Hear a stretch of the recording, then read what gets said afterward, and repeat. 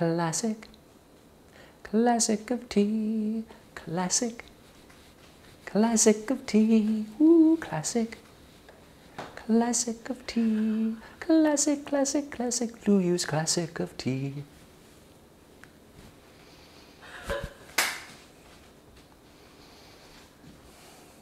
Hi guys, welcome. Sunday Tea Book Season 2 is starting this weekend, and we're going to be chatting about Classic of Tea for the next few weeks, so be sure to tune in to the live Sunday at 1 p.m. Before we kickstart this book, I want to share some of the background and give you all, and myself actually, a deeper understanding of the time so that we can all better understand Classic of Tea. Lu Yu's Classic of Tea was written during the Mid-Tang Dynasty about 1200 years ago, and a lot has changed since then. So it's no shocker that we really need to get ourselves into the mindset for max enjoyment. So, a lot has changed.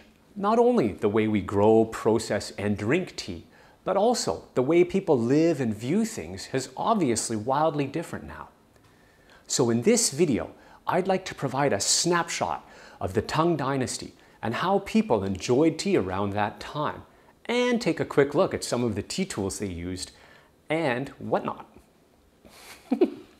so without further ado, let's get started.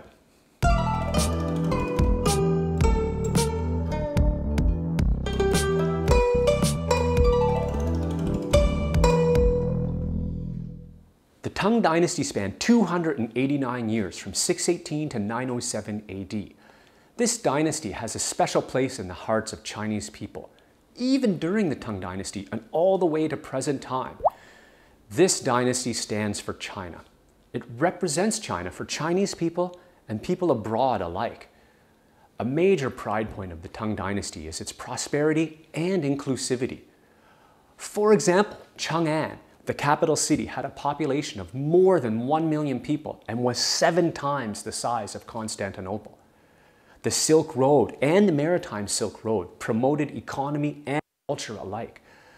The West Market of the Tang Dynasty was the biggest market in the world and provided the starting point of Chinese silk, porcelain, and tea heading out of China and off to the rest of the world. While at the same time, many luxury goods were pouring in, being introduced into China, such as spice, incense, and many, many others. The overall culture of the dynasty was wide open. Commerce brought tons of foreigners to the country, and many of them even became officials in various departments of the state, including military areas. Some of these foreigners even became Zaixiang of the country. So that's like a prime minister in a parliamentary democracy. Not quite the top, but really high up that ladder. And how about religion? Well, they were also very open to a bunch of religions, including domestic religions like Buddhism and Taoism, and even foreign religions like Islam or the Assyrian Church, Manichaeism, or Zoroastrianism. Woo, that one was tough. Zoroastrianism, allowing each of these religions to follow their own natural development. All right, so let's switch gears a little. I bet you've all heard of the famous Tiger Mom. This was once a really hot topic, and whether or not it's the right way to approach parenting, it definitely reflects how Chinese people value education a lot. And that didn't come without some basis in tradition. From the very beginning, and I really mean the very beginning, the state-funded old folks home was located right beside the royal court. But this wasn't just a regular old, regular old folks home. It was a school for the elderly to pass along their knowledge.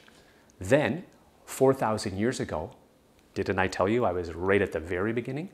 There was a state-regulated education, there were state-regulated educational facilities and systems of teaching different subjects. After that, 2,500 years ago, hang on with me, we're getting there, I promise. Confucius started providing private schools, breaking a long-held tradition that only nobles should be educated. Finally, we arrive at the Tang Dynasty, where the state uses Ke Jue to select officials for the empire. Ke Jue was an exam system for selecting civil servants in imperial China. Imagine that a farmer or a blacksmith's child could become a high official of the country because of his ability and knowledge. This emphasized and allowed education to decide one's future and not social class. This was a very powerful message to the common people and perhaps the very beginning of the Tiger Mom. The Kejua system went on to be modified for modern civil service selection systems. Whew, that was a tough one. Including England, France, America, and other Western countries in the 19th century. These changes and adaptations of new and exciting cultural elements into various aspects in the society, and really the whole vibe of this time, made it possible for Lu Yu's classic of tea to become an instant hit. The book transformed how people viewed and drank tea and greatly encouraged tea to transform from a medicine and a cooking ingredient to a standalone beverage that required a discerning palate. Now, this was possible because during prosperous times, people are able to go beyond meeting their basic needs and pursue things of fine taste and culture. It's because open and confident minds are curious and interested in change rather than simply rejecting something because it's new and strange.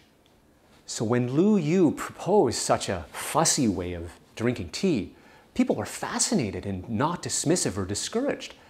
And there's also this abundance, this abundant crowd of educated people who are fueling this burgeoning tea culture, adding meaning, adding implications, making Lu Yu's way of tea not just a trend of the moment, but a profound influence and a turn in the whole course of the history of tea.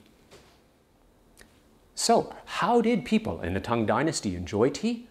Many would simply say, well, they boiled their tea. And yes, that's partially correct. 289 years, though, is a long time, and how people enjoyed tea surely did not stay the same.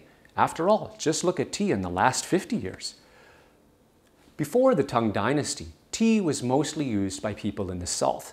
But during the Tang Dynasty, it transformed from a regional phenomena to a national one and became so common that tea was even compared to rice and salt, basic and important part of every common person's life. During the Tang Dynasty, in the early times, tea was still mostly a medicine or a food ingredient. There are records that show that uh, you could use fresh tea bud to make a strong cup of drink and use it like a mouthwash to cure bleeding gums. As a cooking ingredient, it was often used in porridge or congee, boiled for a long, long time and seasoned with salt, pepper, mm, maybe star anise, and people would sell this on the street. Can you just imagine that instead of a chips truck, instead of a chip truck, you got a congee truck with tea in it? Sweet. So just how do you enjoy tea according to Lu Yu? Don't worry, we'll talk about all the steps and how-tos in detail during Sunday Tea Book very soon. But let me whet your curiosity with some teaware talk. In 1987, so pretty recently, based on how our discussion has gone so far, a thunderstorm struck the pagoda at Famen Temple in Shaanxi province.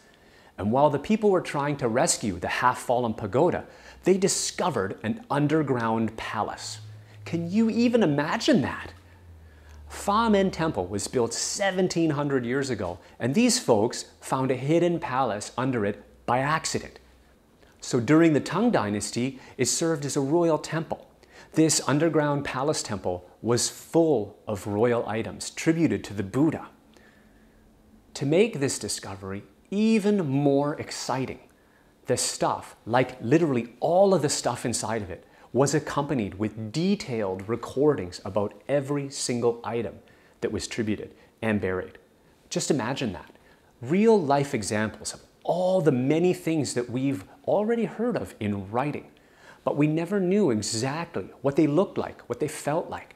They were all found here. Okay, not all of them, but you know, a lot of them. Things like Mi Si, a top-notch Celadon porcelain at that time that is named in text and known as a legendary and mysterious porcelain category that no one has seen for a thousand years. Voila, there it was. The discovery also corrected long-time misunderstandings. For example, the word xiangnang, commonly thought of as a fabric incense holder. Well, they found out that it was actually a metal ball-shaped incense holder at that time, and bonus find, the delicate mechanics inside would keep the incense upright as a, uh, as a person who was wearing it or holding it walked around, Quite amazing. This incredible underground palace of wonders also revealed a full set of tea accessories. Yay for us. But not just any tea accessories.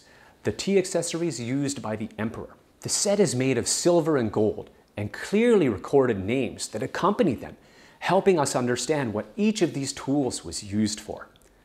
Qianyan was a tea grinding tool. Lou He, a storage container for tea.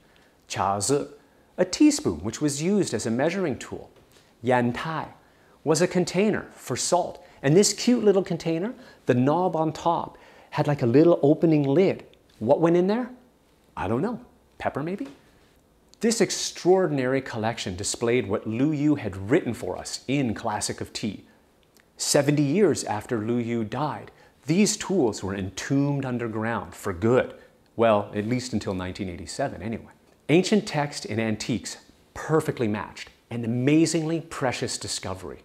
I'll pop a link down in the description below for you if you want to learn more and really dive into this rabbit hole of archaeological wonders. All right, folks, I really hope this video helped to rewind your mind 1200 years and get you revved up for the upcoming Sunday tea book reading of Classic of Tea. It may be a book from 1200 years ago, much of which is not really applicable for today's tea lovers directly, but as a classic, it still provides much useful knowledge. In our Sunday tea book, we're hoping to connect modern with ancient. Read beyond the words, explain the culture of the time, and learn helpful information about today's tea. Of course, to achieve this, we really need your help.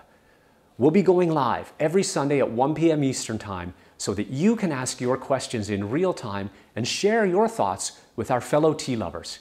It is going to be epic. See you Sunday at 1.